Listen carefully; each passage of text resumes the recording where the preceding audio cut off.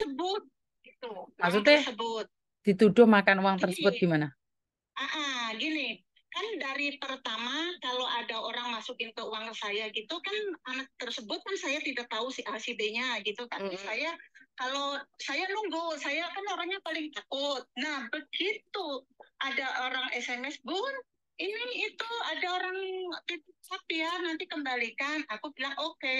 Aku bilang gitu selalu kan itu selalu intinya saya transfer dan transfer transfer nah ini kita ambil kesimpulannya aja ya Miss itu biar nggak panjang lebar gitu ya nah pas anak tersebut lip, eh, cuti di Indonesia belum ada satu malam Mm-mm. nah anak tersebut di chat pagi-pagi ke saya saya Hmm. kan orangnya posisi repot ngurusin majikan lah gitu ya Hmm. ngurusin nenek gitu kan Mm-mm. Nah, dia SMS sama saya, Bun, ada uang masuk. Ah, bentar ya, aku belum lihat HP soalnya, aku repot. Nah, aku ngeliat, oh ya ada, aku transfer balik duit tersebut. Nah, begitu pokoknya dibikin bisnis itu satu minggu itu full, tanpa berhenti, gitu ya. Tanpa berhenti. Saya kan orangnya paling takut masalah keuangan kayak gitu. Saya Hmm. nggak punya uang ya, saya sampai minjem-minjem lah sama temen ibaratnya 100-200. Aku sampai minjem ke majikan pun sampai beribu-ribu. Emang jujur aja, tapi saya nggak ada masalah sama majikan, gitu kan ya. Nah, kedua, anak tersebut cuti, udah tak kasih tahu. Say, maaf beribu maaf, WeChat saya itu limit. Tidak bisa buat segala macam pun. Saya kan orangnya nggak tahu limit itu artinya gimana. Saya nggak tahu. Begitu limit uang WeChat saya, saya udah nggak menggunakan WeChat tersebut. Gitu kan, udah lama. Nah, habis itu anak tersebut pulanglah ke Hong Kong. Saya juga nggak tahu kalau anak tersebut yang yang bisnis pakai barcode saya itu, itu ya. Nah, dia pulang ke Hong Kong pagi-pagi, eh sore dia bicara eh, SMS sama saya, Bun, transfer ya. eh, apa itu namanya uang. Uang apa? Saya udah udah bilangin berapa kali saya kamu di Indonesia aku udah bilang berapa kali saya udah nggak menggunakan WeChat tersebut. Kenapa? Anak buahmu selalu ngetap di eh, di WeChat saya. Kalau di WeChat saya saya nggak tahu. Saya nggak tahu bukanya dan saya tidak tahu ini itu saya pokoknya inti intinya masalah kayak gitu kan nggak tahu ya Miss gitu Hmm. kan. Terus aku libur. Dia nggak libur minggunya aku libur. Tapi saya sampai dibongkar sama kakak tersebut kakaknya dia yang yang bisnis itu. Nah sampai di otak atik aku juga orang goblok nggak tahu gimana caranya ngembalikin gimana caranya saya nggak tahu masalah kayak gitu. Nah nggak bisa. Sampai HP ngedrop eh, HP saya. Begitu eh, baru ini urusan satu belum kelar belum selesai ada anak masukin lagi ke WeChat saya sampai lima ribu. Saya ditanya bu itu suruh transfer yang ditransfer apanya? Saya nggak punya WeChat kenapa kalian itu masukin ke WeChat saya? Itu bukan kesalahan dari saya. Itu kesalahan dari kalian yang bisnis itu salah yang masukin ju- juga tanpa seizin sama saya aku bilang gitu kan Mm-mm. nah terus ya itu suruh kembalikan berarti ka- kamu yang makan uang saya seandainya saya yang makan seandainya saya yang merasa bersalah saya masih bertanggung jawab kembalikan uang tersebut tapi nunggu gaji itu kak seandainya kalau saya salah aku bilang kayak gitu Mm. tapi saya tidak merasa aku bilang gitu ini SMS masih ada sama saya. Mm-mm. nah orang tersebut hari ini dia ngelaporin ke saya ke pihak polisi. Aku dikasih surat. Mm. nah aku kan nggak tahu apa-apa nih makanya aku bingung. Aku Mm. telepon nih makanya aku ngeliat setiap harinya di Facebook di YouTube kan aku ngeliat eh eh, pokoknya ngeliat Miss terus gitu kan ya. Mm. ya namanya orang kan nggak takut ada apa-apa pasti kan minta bantuan lah gitu kan ya. Mm. nah aku bilang anak itu di di ini di di kantor polisi. Di kantor polisi? Terus aku bilang mbak kamu di kantor polisi? Iya. "Ah, mbak saya udah hari ini udah di kantor polisi sekarang udah direkod gini gini gini. Eh, Anis sudah ngelaporin uh, sabencing dirimu. Kalau saya orang jahat, nggak mungkin saya ngasihkan ini dan itu sampai HP saya dibongkar pasang. Aku bilang kayak gitu. Ini hmm. salahnya yang pakai barcode saya. Aku hmm. bilang kayak gitu. Hmm. Saya punya segala apa pun, tapi saya tidak pernah menyebarkan barcode ke siapa pun buat bisnis. Mm-hmm. Tapi yang nggak punya WeChat, tapi nyebarin barcode saya, saya ini nggak tahu apa-apa. Mm-hmm. Aku bilang kayak gitu. Sedangkan saya bahasa sini suruh ngomong sama polisi ke saya kurang nih, jujur mm-hmm. saja. Saya kurang. Mm-hmm. Aku ngomong gimana? Aku bilang gitu. Seandainya nggak apa-apa gini aja. Ini udah udah ini aku udah udah laporan ke pihak polisi, polisi Mongkok gitu. Mm-hmm. Terus aku udah laporan udah selesai. Tapi kalau pihak polisi nanti uh, apa uh, ngecek dirimu apa itu namanya uh, di WeChat itu ada, itu berarti miliknya dia, miliknya teman saya. Kalau di WeChat nggak ada, itu urusan kalian sama si Anis gitu. Terus hmm. aku kan orangnya urusannya bagaimana? Saya orang dari dulu itu udah bilang. Mm. Itu limit saya ngasih tahu ke anak tersebut, tapi anak tersebut udah bilangnya oke, okay, aku kira oke okay itu udah paham. Kenapa mau masukin ke barcode saya itu tanpa seizin saya. Gitu loh Miss. Itu hmm. itu gimana ini Miss? Oke. Nah kamu dilaporin di polisi suratnya apa? Ya kasusnya masalahnya uh, masalah uang. Masalah uang apa itu masukin ke apa ini aku nggak tahu ini tulisannya ini. Dia udah ngasih surat ke saya saya juga kaget baru pulang dari pasar gitu loh. WA ke saya WA ke saya dong. Saya kan nggak baca itu suratnya seperti apa dan bagaimana.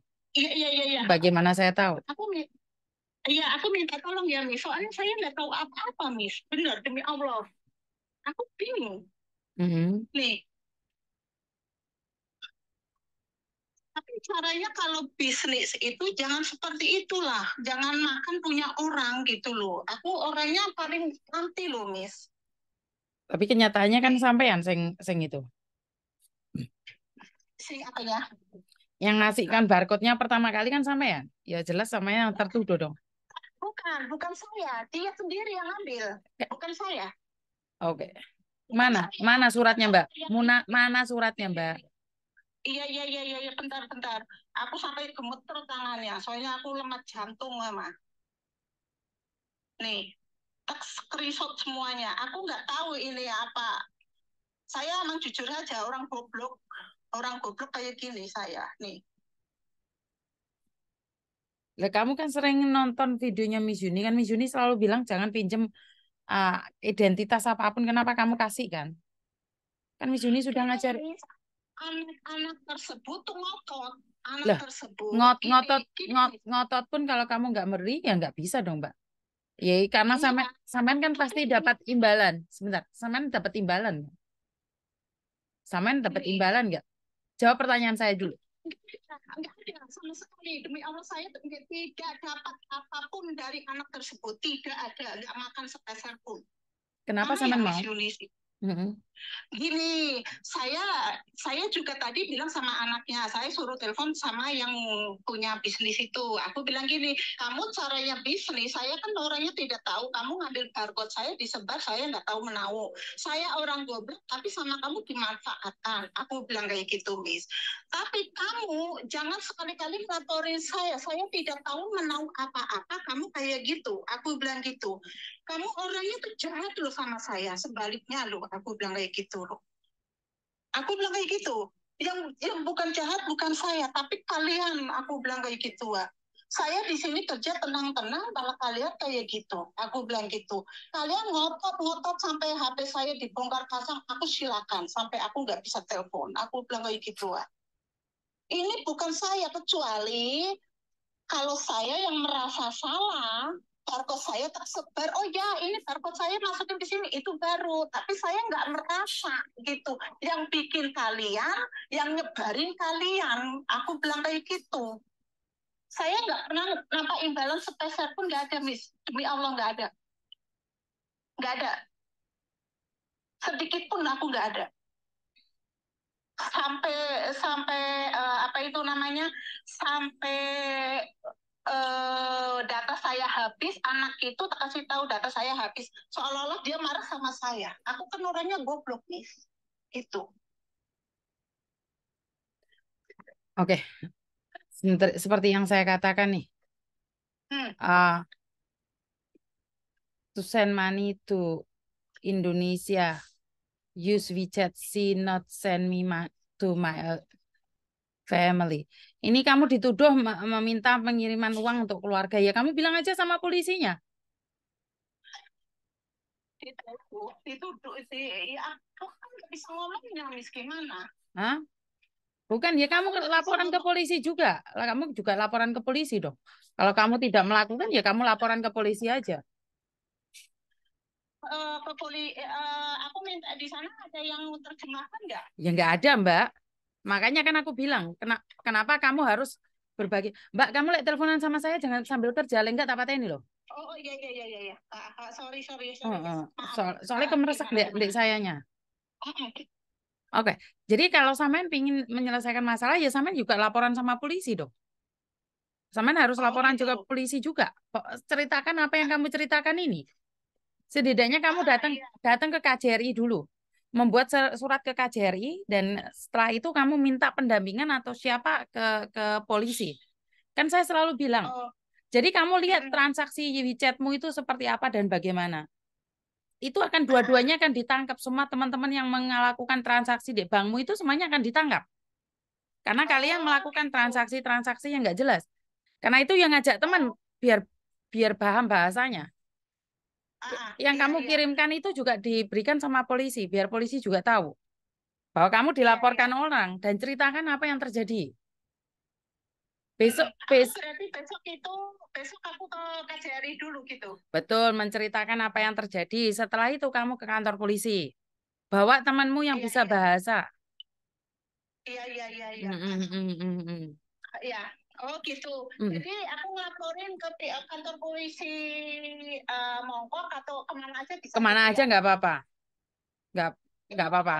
besok besok pagi saya ke I- eh, KJRI itu lantai berapa, Miss? Kayaknya lantai satu untuk pengaduan. Oh iya, pengaduan masalah WeChat gitu. Nanti Mm. ada laporan seperti itu ya, Miss. Mm, gitu. Jadi ini i- banyak, Miss. Ya Allah. ini perhatian buat teman-teman jangan menjual aplikasi. Padahal saya tiap hari ngomong jangan menjual aplikasi. Lah kenapa sampean menjual aplikasi, Mbak? Padahal Saya, mis saya tidak menjual. Saya tidak Mbak, menjual. Mbak, Gini. Mbak, Mbak, sampean lek jengengkel tidak menjual. Saya tidak tahu maksudnya sampean kenapa sampean memberikan aplikasi itu pada orang lain. Paham nggak maksud saya? Secara logika, secara logika tidak masuk di logika saya. Secara akal tidak masuk. Kenapa? Ngapain kamu repot-repot memberikan eh, barcode itu pada orang, walaupun diambil sendiri? Kan uangnya kamu yang ambil, kamu transferi. Bener nggak? Bener nggak sih? Aku aku nggak transfer ke Indonesia, cuma transfer ke anak tersebut. Betul, sebentar, tersebut sebentar, ya, sebentar. gitu. Secara logika nih, sampean nggak ada waktu. Kenapa sampean mau? Sampean lo nggak ada waktu, sampean Ah. kerja. Di, ah, ah. Ya aku gini Miss, ya Allah Miss sampai aku bingung. Aku kan baru pulang dari pasar. Astagfirullahaladzim. Saya nggak sekarang tahu. dengarkan saya ngomong dulu. Kenapa dari awal sudah sering kali ada onak kirim?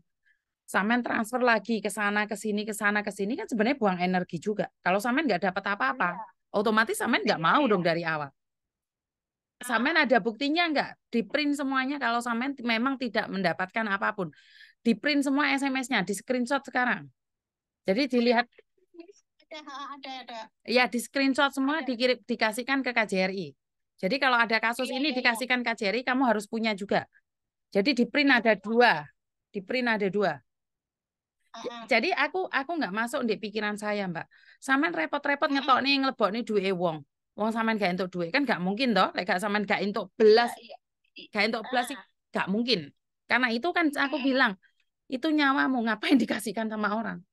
Resikonya ya di kamu. Yang di penjara siapa ya kamu. Ya kamu. Aku tuh ya Allah, ya Allah, kok anak tersebut jahat banget sama saya loh, Miss. Iya saya sebentar lagi. Sebentar, sebentar, sebentar. Saya bilang. Lah saya yang bantu orang aja saya dipolisiin mbak. Karena itu kan kalau kamu memang ikut kontennya Miss Yunis setiap hari, kamu pasti tahu dong bahwa bahwa banyak orang menolong orang itu kayak ul- ular melingkar itu loh. jahat banget sama kita. Iya. Mhm. tapi seharusnya jangan jangan seperti itu gitu loh. Aku ini kan maksud maksudnya apa? Saya orang goblok, udah digoblokin. Astagfirullahaladzim, la ilaha illallah Muhammad Rasulullah. Kan sa- saya bilang, kenapa sampean mau? Kenapa sampean mau? Masalahnya kan sampean yang mau.